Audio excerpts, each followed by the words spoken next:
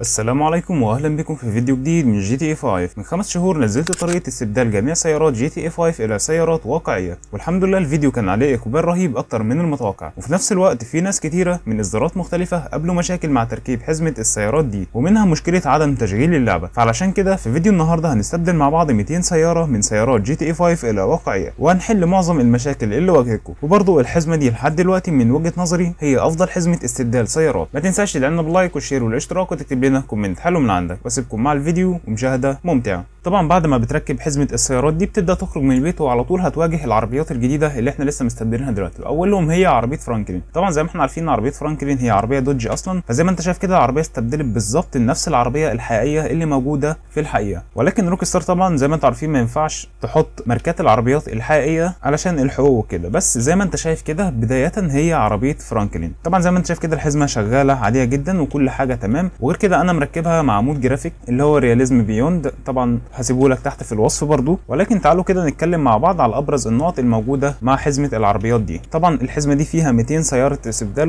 و200 ده ممكن يكون رقم صغير بالنسبة لك ولكن ده مش رقم صغير ابدا. 200 سيارة دي بمقارنة بعربيات اللعبة كلها فهي يعتبر رقم صغير فعلا ولكن ال 200 سيارة متفلترين على أساس أشهر العربيات الموجودة في الشوارع الموجودة في GTA 5 زي ما أنت شايف كده يعني تقريبا معظم العربيات أو كلها تقريبا متبدلة لعربيات حقيقية وده بسبب إن مطور الحزمة دي مختار عربيات مشهورة في الشوارع بتاعة اللعبة. بالنسبة بقى لتأثير ال frame ات فالحزمة دي بتأثر فعلا على ال frame ات ولكن مش تأثير كبير لو جهازك متوسط فالحزمة هتشتغل تمام وبدون أي مشاكل. وخلي بالك كمان أنا مركب مع الحزمة دي mod graphic والأمور شغالة تمام يعني هوريك دلوقتي ال frame ات والكلام ده كله. بس دلوقتي أنا مركب الحزمة دي مع mod ال graphic ده على كارت GTX 1050 Ti نسخة ال 4 جيجا. زي ما أنت شايف كده كل حاجة متبدلة بالشكل اللي أنت شايفه ده. طبعا لو في أي أنت شفته فهيكون بسبب mod ال graphic. أما أنت زي ما أنت شايف كده G63 عربيات كتير جدا مشهورة في الحزمة دي. فلو أنت بتشغل اللعبة عندك 60 frame مستقر بدون أي drop frame ولو ركبت بقى حزمة العربيات دي ممكن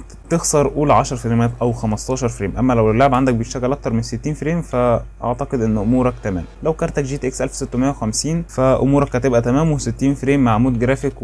وكل حاجة هتبقى مظبوطة. وقارن بقى الكروت دي مع الكروت المقابلة ليها من AMD سواء بقى RX أو أي حاجة من الحاجات دي. طبعا زي ما قلت لك العربيات كتير جدا ومتنوعة. هنغير العربية دي وناخد مثلا عربية تانية. تعالوا نخش ال parking ده. نشوف إيه العربيات اللي موجودة جواه. عندنا هنا طبعا مجموعة عربيات. أولهم العربية الكيا سبورتاج دي. زي ما أنت شايف كده كلها عربيات متبدله وكلها عربيات حقيقية. أو حتى العربية الجولف دي. لا دي نيسان كمان. الجولف هي اللي هناك دي. ودي برضو كيا. ودي ال G 63 مرسيدس طبعا. وطبعا الحزمة دي قديمة. آه يعني بقالها خمس شهور. ولكن هتفضل الحزمة دي حزمة كويسة جدا ومناسبة للوقت اللي إحنا موجودين فيه. دي طبعا عربية أودي. عربيات كتيرة متبدلة. تعال ناخد مثلا ال G 63 طبعا كلها عربيات واقعية. وبرضه ينفع تعدل عليها عادي جدا. لو رحت بيها جراج Los Santos أو أي جراج من الجراجات هتلاقي عادي العربية بيتعدل عليها وأمورك تمام وكل حاجة مظبوطة. أنا جيت هنا الصحراء كمان علشان نشوف العربيات الموجودة في الصحراء متبدلة ولا لأ والحاجات دي. طبعا زي ما أنت شايف كده كل حاجة تمام. عربيات الصحراء برضه كلها متبدلة وكل الحاجات اللي أنت شايفها دي. ولكن تعالى كده مع بعض نظهر الفريمات. نروح مثلا على MSI Afterburner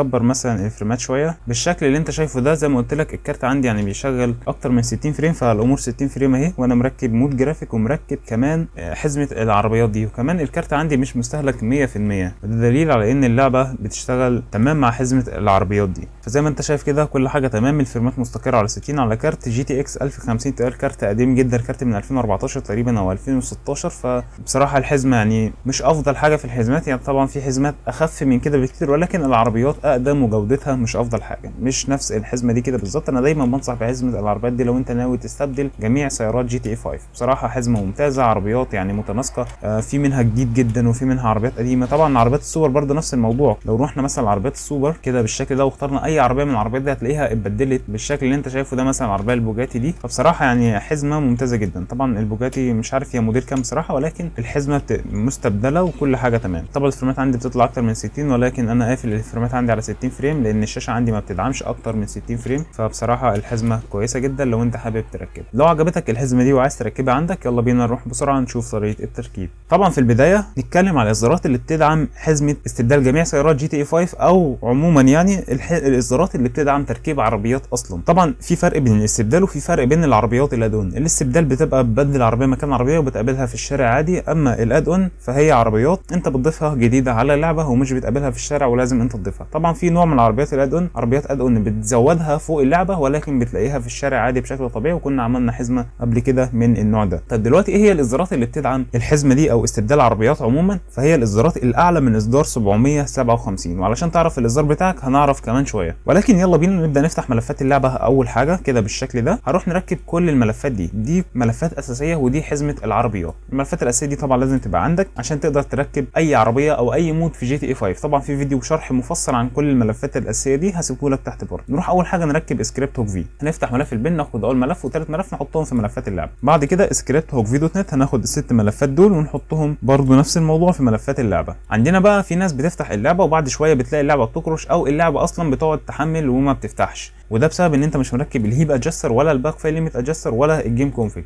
نفتح أول حاجة ال heap adjuster كده ونحطه في ملفات اللعبة.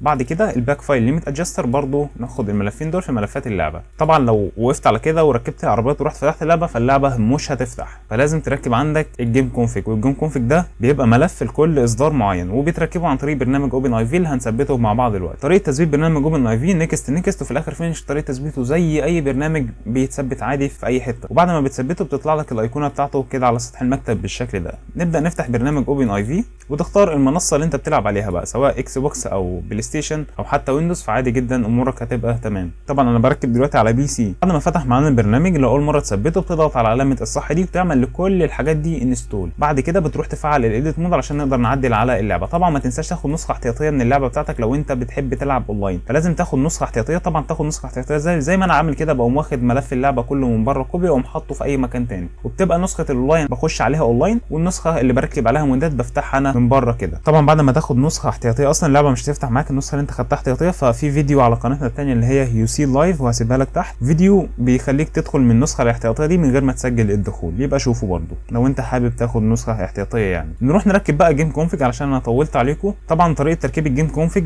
بتفتح ملف update بعد كده ملف update.rpf بعد كده common بعد كده data بعد كده تضغط من فوق هنا على show mods folder أو copy to mods folder بعد كده بنروح نشوف إصدار اللعبة بتاعتنا إصدار كام. وتعرف الإصدار إزاي بتفتح ملفات اللعبة وتروح عندك على GTA 5 اللي هي ايقونة التشغيل تضغط عليها click يمين بعد كده properties بعد كده هتروح من فوق هنا على details هتلاقي هنا ال file version بتاعك أو الإصدار بتاعك. أنا إصداري 3095 في وقت تصوير الفيديو ده كان هو أحدث إصدار. طبعا لو نزلت إصدارات أحدث من كده عادي برضه هتقبلها. بس زي ما قلت لك الإصدار اللي أقل من 757 وبالذات إصدار 350 لأن الإصدار ده مشهور جدا فالإصدارات دي ما ينفعش تركب سيارات نهائي لأن اللعبة عندك مش هتفتح. وأنا بحذر عشان ما تضيعش اللعبة بتاعتك. تمام كده؟ عرفنا إصدار اللعبة بتاعتنا. يلا بقى نروح على ال game config نفتح أول حاجة كده ال game config من بره. طبعا دايما أنا بسيب لك الملفات أحدث نسخ. يعني حتى لو عدى إصدارات تانية جديدة من اللعبة بعد تصوير الفيديو ده فهتلاقي كل الحاجات برضو أحدث حاجة. فدايما أحدث إصدار من ال game config هتلاقيه بره كده. أما الإصدارات اللي أقل من 30 95 فتلاقيها هنا جوه folder اسمه ال old versions